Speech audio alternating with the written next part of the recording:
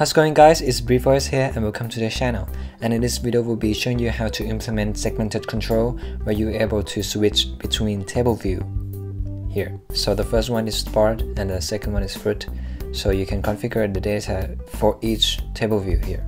And first of all, I would like to thank Nicolas Crespo for suggesting this video, uh, who says, can you change a view into custom cells table views? Well, next video will be the custom cells table views, but in this video I'm just gonna use the prototype cell in the storyboard so it's easier for you to understand the basics. And then the next video will do the custom cells. Alright, thank you again, and we're going to start right now.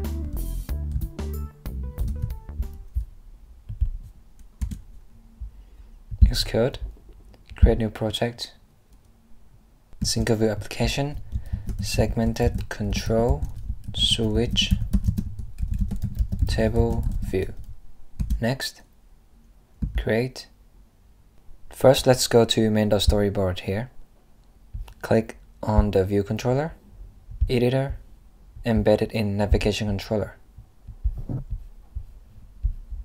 And uh, I'm just going to double click here to set the title to switch table view.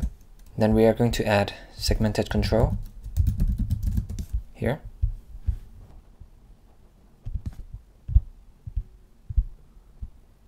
And then of course let's add table view here.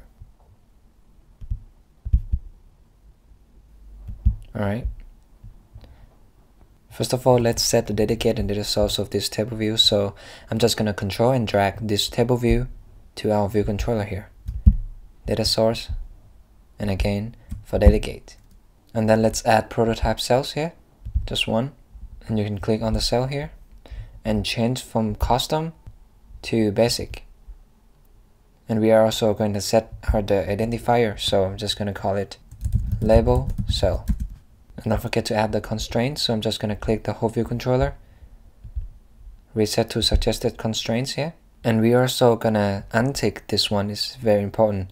This layout property will auto adjust the content inside table view to just indent down a little bit more and we don't want that one. We want our content in the table view to be always on top of the table view. So we're just gonna untick this one. And next let's make the outlet connection. So I'm just gonna open the assistant editor here. And uh, we're just gonna control drag the here, the segmented control down here and uh, we're gonna make an action connection.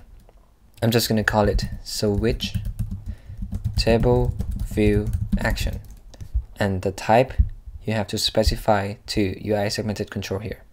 Connect and the other one for table view so I'm just gonna control and drag the table view here to the attributes section here. I'm just gonna call it table view connect. Let's close this one. Save the main.storyboard here and just go back to view controller. So first of all, what we need is the data array. So I'm just going to copy and paste it after table view. Here. And of course, you can just copy the data array from the description below and paste it right here. Well, let's implement our view controller. The UI table view data source and UI table view delegate. And as you can see here, we have the two-dimensional array. The first one is the first page, which is the sport, and the second one is the fruit. So we need one more attribute to specify which one we are currently on. So I'm just going to create a variable called current table view, which is an integer here. And in the view did load here, I'm just gonna set the table view dot background color equal to UI color dot dark gray. And of course, we are going to set the current table view to be the first one, which is zero index.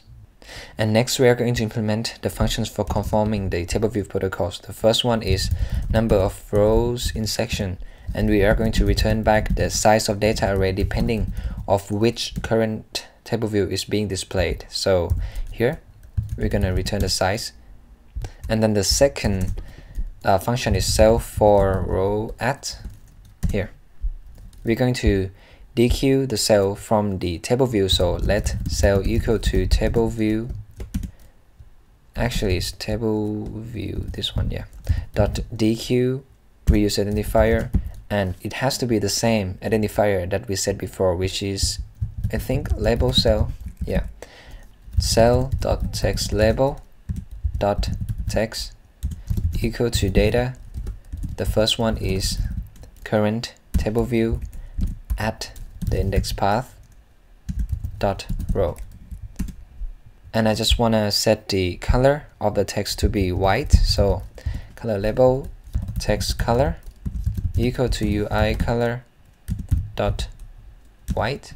And we are going to set the background as well. So background color equal to UI color dot dark gray and the same as the content view of the whole cell so cell dot content view dot background color equal to UI color dot dark gray. We're gonna return back this cell and I think we can just unwrap them. And that's it. We're done with the preparation for the table view of those two table views. But what we have to implement more here is when we select our segmented control. So we need to change the current table view here here corresponding to the segmented control here. So I'm just gonna easily say just one line current table view here equal to sender which is segmented control.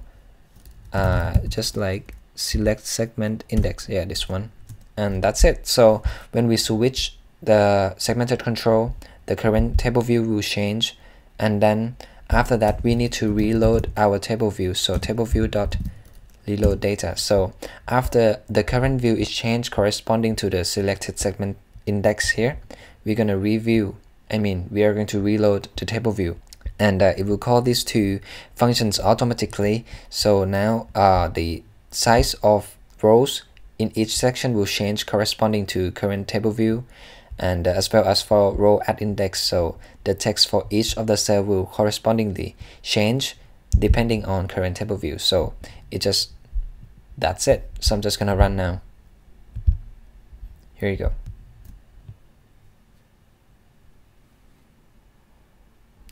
Here we go guys, we have our segmented control here. The first page is the table view containing the data of the sport. The second one is the fruit and we have it here perfectly functional table view right here. And we can try to switch it. Perfect. Switch it back. And that's basically it guys. Thanks for watching to the end of the video. If you find this video helpful, please leave a like or subscribe. And if you have any question or any suggestion, you can just leave them down in the comment section below. And uh, everybody, let's just keep coding. I will see you guys in the next one.